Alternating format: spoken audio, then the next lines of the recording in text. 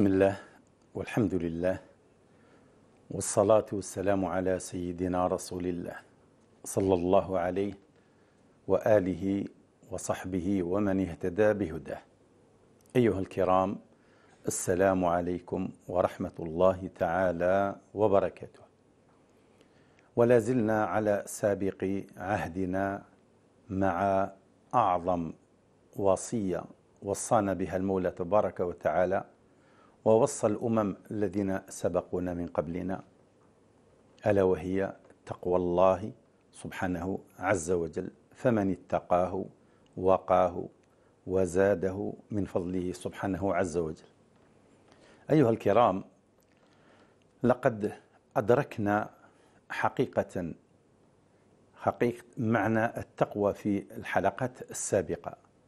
أدركنا فعلا إن شاء الله أن خلاصة تقوى الله سبحانه عز وجل هي الاستقامة على طاعة الله على هداية منه وعلى نور منه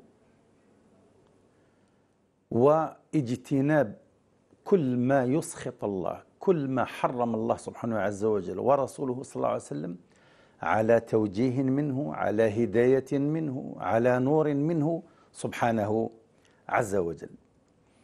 غير أن المتصفح أيها الكرام اللي يتابع في القرآن الكريم اللي يقرأ ويتدبر ويتأمل ويحضر عقله وهو يقرأ من فاتحة الكتاب إلى الناس المتدبر الذي يقف عند معاني هذه الآيات الكلمات يجد الإبداع العجيب في تنوع معنى كلمة التقوى في القرآن الكريم.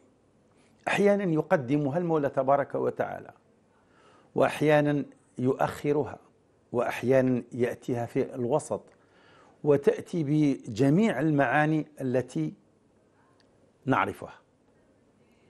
أيها الكرام فمثلا أحيانا القرآن الكريم يريدنا أن نتواصى بها وصية الله قال تعالى ولقد وصينا الذين أوتوا الكتاب من قبلكم وإياكم أن اتقوا الله.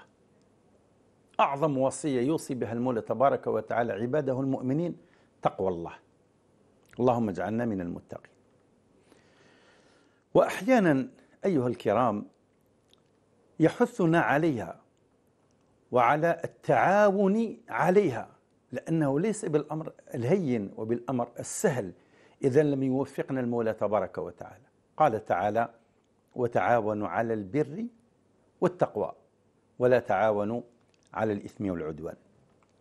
وقال صلى الله عليه وسلم كذلك كوصية عليكم بتقوى الله والسمع والطاعة. يوصي معاذ بن جبل وش يقول له؟ يا معاذ اتق الله حيثما كنت وأتبع السيئة الحسنة تمحها وخالق الناس بخلق حسن. هذا حديث النبي عليه الصلاة والسلام. وأحيانا يأمرنا بها أمرا المولى تبارك وتعالى. يا أيها الذين آمنوا قوا أنفسكم وأهليكم نارا وقودها الناس والحجار. عليها ملائكة غلاظ شداد. لا يعصون الله ما أمرهم ويفعلون ما يؤمرون. يشدد علينا يحذرنا. فيأمرنا المولى تبارك وتعالى بأن نتقي الله سبحانه عز وجل.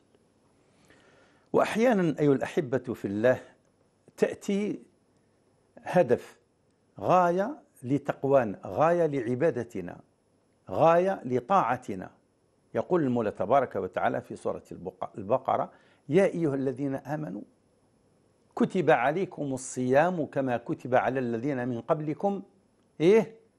لعلكم تتقون. معناه الهدف الأسمى والغاية من هذا الصيام هو بلوغ تقوى الله. أعظم منزلة أعظم فضيلة بينك وبين الله سبحانه عز وجل تقوى الله. مراقبة الله في كل لحظة وحين في السر والعلن وفي كل مكان. وقال تعالى وأمر أهلك بالصلاة واصطبر عليها لا نسألك رزقا نحن نرزقك والعاقبة للتقوى. إذا أحببت أن تكون من المتقين لا تغفل عن أمر أهلك وأولادك وكل من تحت الإمرة نتاعك تدعوهم تأمرهم بالصلاة. وأمر أهلك بالصلاة واصطبر عليها. لا نسألك رزقا رزق على الله سبحانه عز وجل.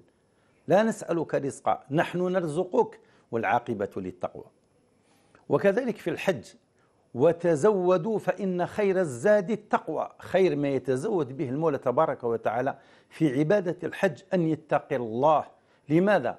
لأنه يلقى العديد من الفتن فعليه ومن الواجب عليه أن يصبر ويتزود بتقوى الله سبحانه عز وجل حتى يتقبل منه هذا العمل على الحج.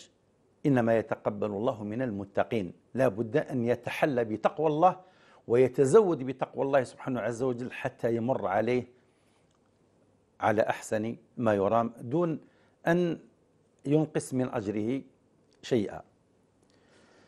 وقد يأتي كالطريق الموصل إلى تقوى الله سبحانه عز وجل الموصل إلى غايته الموصل إلى هدف التقوى.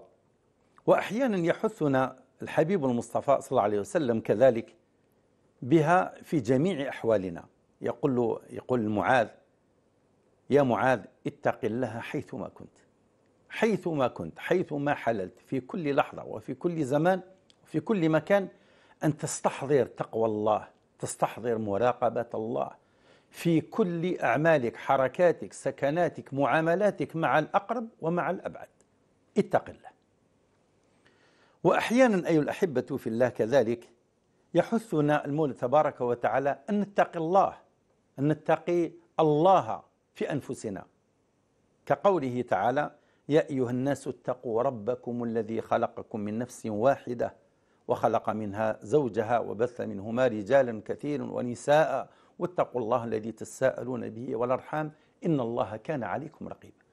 ويقول المولى تبارك وتعالى يا أيها الذين آمنوا اتقوا الله حق تقاته ولا تموتن إلا وأنتم مسلمون.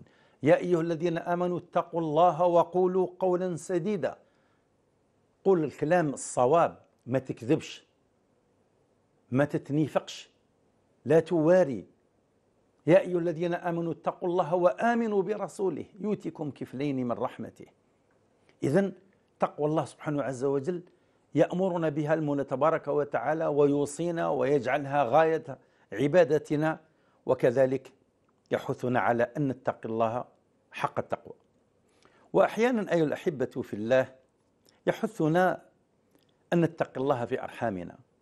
تتمة للآية الكريمة التي كنت ذكرتها قبل قليل يا أيها الناس اتقوا ربكم الذي خلقكم من نفس واحدة وخلق منها زوجها وبث منهما رجالا كثيرا ونساء واتقوا الله الذي تساءلون به والأرحام إن الله كان عليكم رقيبا. تقول له أسألك بالله الذي تساءلون به والأرحام إن الله كان عليكم رقيب. اتقوا الله في أرحامكم في صلة الرحم. لا تقطعوا الصلة بينكم وبين أرحامكم صعودا ونزولا. وأحيانا يحثنا أن نتقي بها جهنم. هذا التقوى أن نجعلها بيننا وبين نار جهنم. عافانا وأعاذنا الله وإياكم من نار جهنم.